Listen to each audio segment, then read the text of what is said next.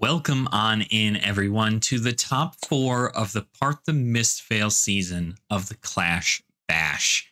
Today, we have somebody who I commentated a game of prior, Dat Wheezy, going against Theo Lowe. Theo running the Ira build that has been terrorizing the format as of right now, and Dat Wheezy over on the Shiyana build. We're going to go ahead and get into this game one and see exactly who takes the first round into this best of three match for the top four of Part the Mistveil Clash Bash. Alrighty, and here we are. It is game one. Theo Lowe on Ira down here, and then Dat Wheezy on Shiyana. Now, Ira's been a pretty big contender for this game for quite some time. We know Ira is really, really good in Commoner, and she's just as effective here in Clash. But luckily, we do have some fun stuff with Shiyana, a opponent that Ira will never get to face in Commoner, and see exactly what the wonderful Diamond Gemini can pull into this hero. So Ira's whole plan looks like you know they're running that kitty build with a Heartened Cross Strap. And the Heartened Cross Strap is really going to help with some of that disruption going into your, you know, chain enders. And most of it is just going to be a simple attack Kodachi Kodachi or Kodachi Kodachi attack. That's kind of Ira's big thing. She gets to defend with a lot of awesome cards like Flic Flaks or any other defense reactions, as well as blocking with any three power blue blocks that are in her deck too. Uh, those blues also tend to pitch and cost zero. And when they do that, you're able to play both your Kodachis with Go again. So pretty easy tech there. But only one damage coming off of Ira here on that first turn gets a little bit of damage through, but we know that Dat Wheezy's Shiyana is very, very much so a go tall build. We like to see a lot of this in regards to any disruptive effects. Now, Endless Winter, while being an incredibly powerful card in a go tall Shiyana build, uh, there isn't a whole lot of real terror behind it because it doesn't get that ice fuse. It being fused as an ice card really, really makes it harder for you to defend against it and also take any damage from it. But in these specific scenarios, it just kind of is nothing for Ira. Ira can comfortably block out that eight. There's no dominate or overpower or anything. And then they get to come in with a simple Kodachi Kodachi attack, right? That is that is the purpose of this build is just to kind of keep on chipping away at their opponent's health while you're able to defend efficiently. And hopefully, we can see some wonderful disruption on Shiyana's end to allow for those smaller chain links on Ira's side. But as long as Ira's able to keep a blue that costs zero, you're pretty much able to make anything happen in this deck. Uh, so you see a collapsing trap go on there. That collapsing trap does trigger, lot making that uh, torrent of tempo in Ira's hand go away because they have to discard and then draw one minus one. So they don't draw anything there. It's a simple, simple Kadachi, Kodachi, Flusterfist Blue, and just moving on from there. So still some damage being chipped away over on Ira's side. Ira's still not taking any damage yet, but here comes a Golden Sun for the simple cost of three pieces of equipment and a blue pitch from hand. This is a 12 power Golden Sun, which is it's a lot of damage, but honestly, Ira just pulled really, really well here with also having something like a Flic Flak. This is a further example as to why dominate is a significantly better keyword for these go tall builds than something like overpower. But the, you know, Shiyana was able to get a decent amount of damage off on to Ira, so now the you know life totals are a little bit more polarizing, or they're a little bit more connected, I should say. But Ira still gets to just keep doing their thing, right? Kodachi, Kadachi play a leg tap. And they also have the benefit of having that free two block off of their Tearing Shuko and Pouncing Paws.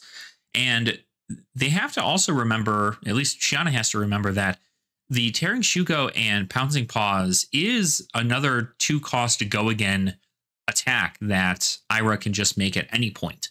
So it is really important to make sure that you're not utilizing too many resources and letting these chains go too far. Because honestly, you also have Mask of the Three Tails. Mask of Three Tails is just like Mask of Momentum. After you've hit three times, Uh, it doesn't even have to be in a row. As long as you've hit three times, you can utilize Mask and draw a card.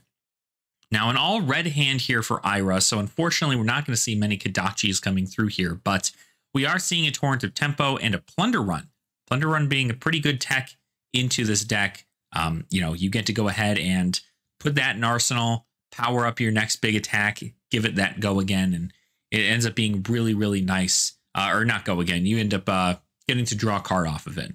So Shiyana goes ahead and just plays a Teklo Core on their turn, just kind of setting up for the next turn in case they have to block out a big attack. They block out this Torrent of Tempo, no attack reactions on Ira's side. So turn just goes, and ends. Plunder Run's probably going to go in Arsenal for sure. So there goes Plunder Run. Another hand of all reds. Two cut down to size, a Bittering Thorns, and a Razor Reflex. But here comes a Shakedown for six. Now, in order to get Shakedown's ability, you do need to attack react. So one can assume that there is something like a pummel or an up the ante in Shiyana's hand to block this out efficiently. Yep, so there comes a blue pummel, just enough to get over, and that pummel is going to discard the last card in the hand, and therefore the shakedown effect does not really matter at all. So kind of just pass it and moving on over. We're kind of chipping away.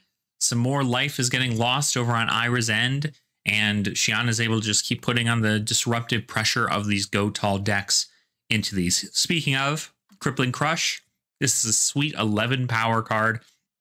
So 11 power gets you a lot, but you have to block. You have, if you take four or more, you get the Crippling Crush effect. A lot of the stuff in the hand of Ira doesn't really block very well. And frankly, you're going to have to try and just prevent as much damage as possible here. So Crippling Crush comes in. They play that Sigil of Solace. They go ahead and gain some life, but they still lose that card in their hand, and it's just a simple pass. They have to get something that is not an all red hand. Here they're looking a little bit better. There's that Pouncing Qi, a zero cost blue card. That'll allow them to at least turn their Kodachis on. But here comes an Endless Winter again. Now, Endless Winter, again, if it's Ice Fuse, it gets, you know, anytime you block with a card from your hand, um, you get a frostbite token uh, underneath it for every card that blocks this. But if it hits, you end up getting a um, a, a frostbite for every action you play, essentially. So it is very, very detrimental to the playstyle of Ira to get hit with something like an Endless Winter, but Ira's got a pretty solid thing. Even if just keeping the Pouncing Qi in hand is what they want, or keeping the the snatch and the razor reflex, it's pretty good. Ira goes down to four. So it's looking pretty good. Just a nice dominate effect on Shiyana's end could easily win this game. But here comes a snatch for seven with the plunder run. So we're looking to get two card draws off of this, if I recall correctly. And snatch is not going to have go again. There's no way to give it go again outside of the razor reflex in the hand. So we're going to see whether or not that ends up happening. It does get reflexed. So now it's coming in for 10 and go again. But there's the Buzzsaw Trap. Buzzsaw Trap is going to reduce that power back down to its base and not allow it to gain any power. Very, very good trick up Shiyana's sleeve there. That Buzzsaw Trap was insane. That was the time to play it for sure. So, simple move. Shiyana just gets to go ahead and go, hey, I'm going to come in with more big disruptive stuff. This big bet's going to come in. It's going to be wagered, but you don't get to utilize the Betsy wager mechanic of paying one to give this overpower. So, unfortunately, you are going to have to, uh, you know, if, if it gets fully blocked out, you're going to end up seeing Ira with a whole bunch of stuff here. And that is exactly what's going to happen. It is going to be a full block. There's no resources for any attack reacts on Shiyana's side. And now Ira just gets awesome stuff here. Now, the good news is, is that a Vigor token for Ira means that she can't play Kodachis to start, um, which is really, really good because you can't start with Kadachi because there has to be a zero cost in the pitch zone in order for the Kodachis to get go again. So here it looks like we just have a Heartened Cross Strap, pop it to swing in with Humble, and then you're going to arsenal that Plunder run. There's two Starstrucks getting blocked out there. If Humble hits, though, Shiyana's not going to be able to utilize any kind of hero abilities or hero card techs. Uh, so it's going to get completely blocked out. And then, of course, with the Unity trigger on Starstruck, Shiyana's going to go ahead and get two Seismic Surges, making Guardian attack actions cost two less. resources this turn. But Shiyana's got nothing. We're going to go ahead and just pop up an E-Pot and get ready for the next turn. Hope that Ira doesn't have 15 damage in their hand and kind of make these moves from here. It's interesting to see an even bigger than that in the Ira build. I'm curious how that's worked out for Theo here. Uh, but regardless, it is a zero cost blue card. So it's probably just Kodachi fodder that sometimes works. But we've started off with a Plunder Run. Plunder Run's going to be pretty good here, but you need to make sure that you're going to give it to an attack action that is going to be worth the time. Because right now rushing river is pretty much the only thing you got and you're not going to be able to really it, they can probably effectively block that out from cards in their hand so that is totally just a, a, a nice Kodachi build here. I think we're trying to get a trigger off of maybe the tearing shuko here if we end up making a tiger. Because if the tiger hits it'll get plus three from, or if the, yeah, when you swing with the Tiger, Tiger will get plus three from the Plunder Run and then plus two from the Tearing Shuko. So it'll come in for five. And if it hits, then uh, Ira gets to draw a card. But they get to go go ahead and get a snatch. There you go. So there's a snatch. They play that one out there. And then that's with the uh, the even bigger than that, if I recall correctly. They get to banish that snatch, play the snatch, comes in for seven, go again. Incredibly powerful here again with that seven. And then it did hit, so the plunder run effect and the snatch effect hits. So this is a pretty wild hand here, and another card from Mask of Three Tails. But a D-React, Sigil of Solace, and a Humble with a couple more blues. I think at this point you might want to try cracking the gold. But here comes a Crouching Tiger for two, like I had said prior. It is going to get another two. Now we're the life totals are getting kind of close.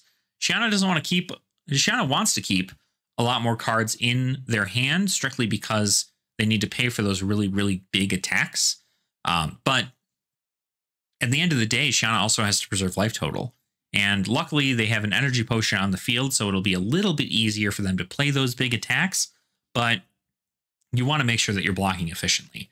Here comes another Humble. Being able to go ahead and just block out some of that damage there. Um, you don't want to lose your hero ability, but if you end up losing it, I guess it's not the end of the world. It's not like you have to take all the specializations outside of your deck or anything like that. You pretty much just lose the Ira effect, uh, and Shiyana's only really been attacking with one card each turn, so not really a necessary thing for uh, for Shiyana to worry about. But that Sigil of Solace brought Ira back up to seven, so now the life totals are definitely pretty insane here. Golden Sun coming in for seven. Uh, no more gold to destroy on Shiyana's end, so it's just a comfortable block. And it looks like we're getting pretty close to Kodachi lock here. So now Shiyana's down to one. It's just going to be a nasty bunch of Kodachi lock at this point because even if everything gets blocked out, you still have one card that will be able to put three damage on the board in two separate instances. And that is the detrimental game plan for Ira in the end game is to just keep on poking at your opponent. Just keep on showing a little bit of love with those daggers, cutting to pieces, and forcing them to throw cards in front of your daggers. Um, usually, this is also the time in which a lot of people tend to disrespect the Razor Reflex. Razor Reflex tends to be kind of disrespected in this route because you never know when it's going to happen. But I do believe that the Razor Reflexes had already been played on Ira's end, so not the end of the world there. A test of strength comes out though, and the test of strength actually gives Ira the gold. So it doesn't look like anything clash worthy is working out in Shiyana's favor here. That it is a nice card to get, especially if you're trying to focus on the Golden Sun as kind of your your end game here. But right now, it's just kind of flailing. You have to hope that there's not a good hand for Ira coming up, and that you're just going to keep on effectively blocking and then passing and effectively blocking and passing. But here comes another Kodachi, and it's the same song and dance, right? Waiting for an opening. Ira's waiting for an opening to get some additional damage in here. With a full hand, it's very, very nice. Uh, but you want to keep hitting with these breakpoints of one so that way you're not utilizing some of your big attacks later. Alrighty, so there you go. It's just a pass again. We're going to go ahead and come in with another Kodachi. We're going to wait for our opponent. And they go ahead and they just give Ira the win there. Well, that was game one. As expected, Ira tends to do pretty well into most heroes, especially into heroes that only care about having large attacks. Uh, luckily with Shiyana, the arcane damage that is presented sometimes with Lesson in Lava is really, really good. And as we saw in the prior little thing there, uh, there was a Lessons in Lava drawn for Shiyana. So easily that could have been game if they were able to play that card. But uh, there was just too much aggression on Ira's end for nearly no resources and it's constant aggression. You know, when you're pitching a card to come in with two attacks, you're making it so you're going to win a fatigue match for sure. So, unfortunate to see that Shiyana ended up being taken down by Ira, but now that means that we get to see Ira move off and Theo is going to end up using Iyslander in their next game as the top four of the Part Vale Clash Bash season continues. So you want to go ahead and watch that, stay tuned, subscribe here to the hub. We go ahead and we make sure that all of our Clash content that is for these Clash leagues end up being posted here. So if you have not already, please make sure to subscribe here. Also, like the videos if you haven't already. You can even go ahead and follow me on my channel, Ashen Wingz TCG, right here if you haven't seen it. Uh, and easily, you can go ahead and find more Clash content there as well. As a member of the committee, I also like to talk about Clash on my channel, so if you wanted to go ahead and join me there, feel free. But stick around here at the Clash Hub, where we're going to see how these next games pan out as we continue in the top four of our Part the Mistveil Clash Bash season. We'll see you then.